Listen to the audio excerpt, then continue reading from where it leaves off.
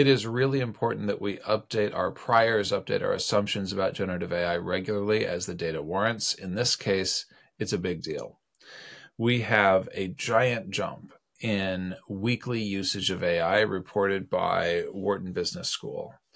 They did a longitudinal study of the same people from 23 and 24 and what they came back with is a jump from 37% usage once a week last year in 2023 to 72% usage once a week this year. These people are uh, leading departments at businesses ranging from $50 million in size all the way up past 2 billion. And so they got to get a sense of the department level usage for these generative AI tools. And what you see is that same doubling pattern repeated across the board. Purchasing and procurement 50% usage last year, 99, no, 94% usage this year, 94, still stunning.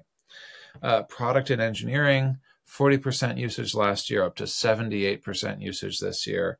Management up from 26 to 69% this year. Marketing up from 20 to 62% this year. It's a really consistent lift across the board and we probably should update our baseline assumptions around how many people are using AI at work. The starter assumption of it being a third is probably inaccurate at this point, it's probably closer to two thirds. Now, you might be wondering do these two thirds of people have controls? Can they just do whatever they want?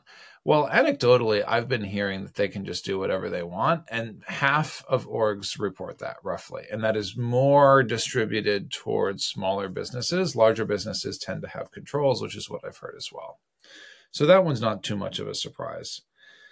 One of the things that, that is interesting to me is that I see that the adoption and usage is actually led by smaller businesses this time. So businesses uh, between $50 million and uh, on up toward a billion dollars are 80% usage that I, I'm a little bit surprised, but like basically they, they cross tab, they cut the average usage once a week.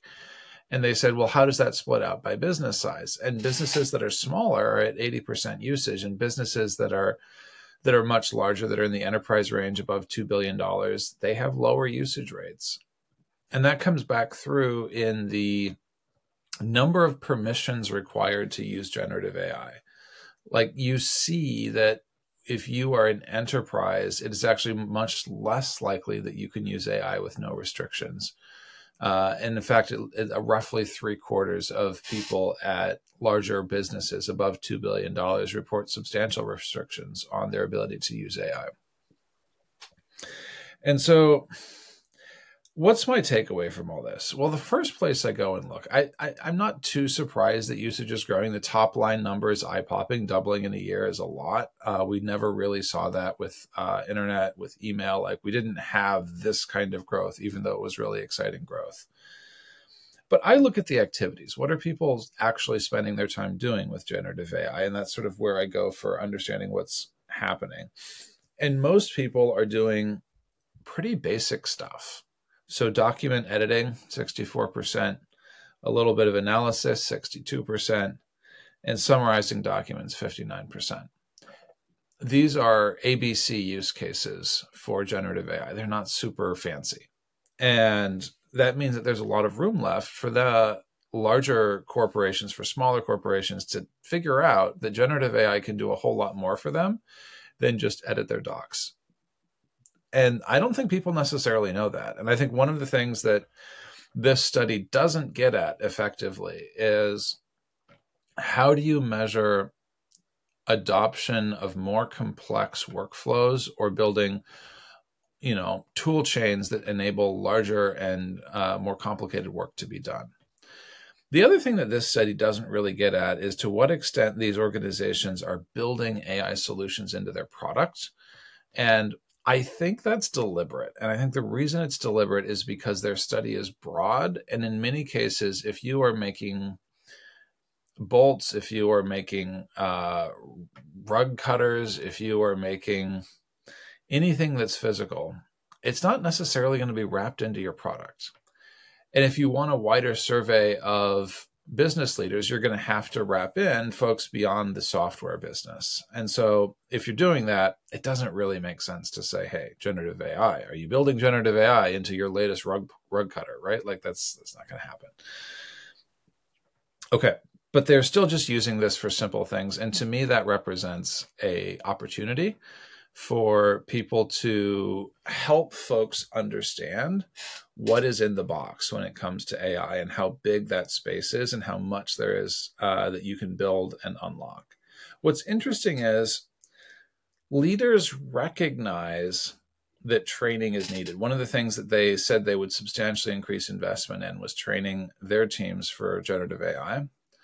But I think one of the challenges is that they don't really yet know what to train in. If you dig into the crosstabs, there's not really an understanding of what generative AI training should include.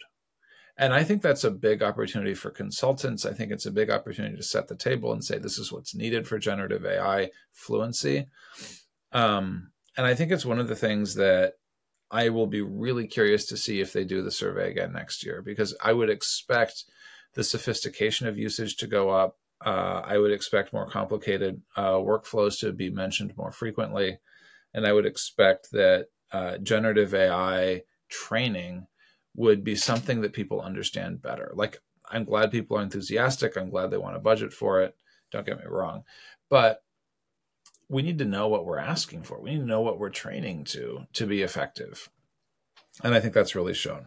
One last takeaway 90% of firms are leading AI internally, and that's really split. Half of them are saying they're leading AI with multiple teams, half with one team. But the consultants are not leading the AI strategy here. And that's something that's really, really clear when you look through the report. The consultants just are uh, there to help, there to assist, but not necessarily there to take the lead organizations seem to view it as really important that they own this. Uh, and half of the ones surveyed have a chief AI officer. So that is a real job title. I'd wondered how much of a real job title it was, but based on self reports, it's a real job title and it's growing quickly. So we're going to see probably AI departments as well, is something that I would expect. And that's an interesting job family shift. We will see. All right. That is the Wharton study. I will link it here in the YouTube.